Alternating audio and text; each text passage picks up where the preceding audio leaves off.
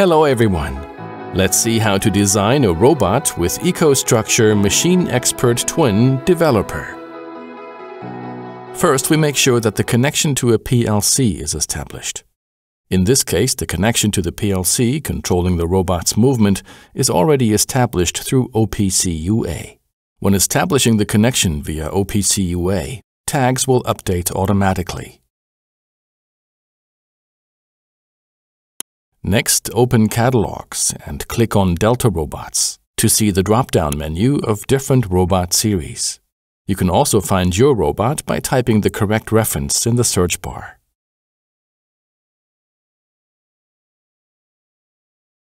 Choose the robot you want and drag it into the scene.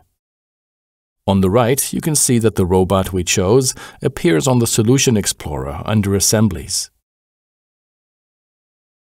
Click on the Robot instance. This allows you to examine the properties of the robot. Within the Property menu, we can modify detailed settings.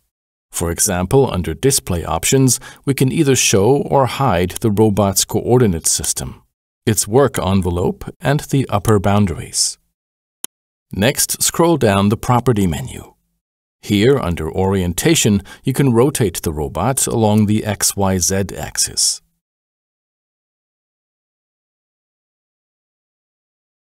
Under Position, you can define a precise location in the scene.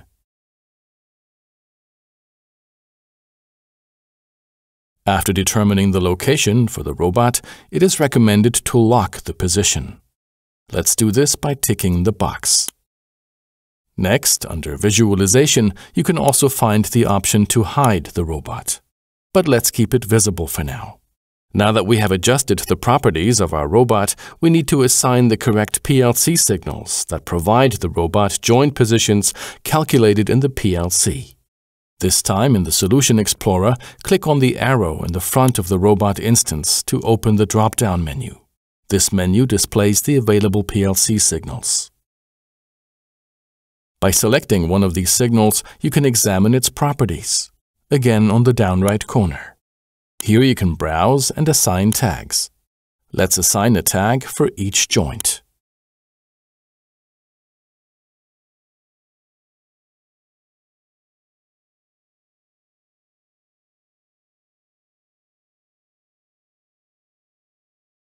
The gripper is activated with a Boolean signal so that the detected loads can be attached by the vacuum.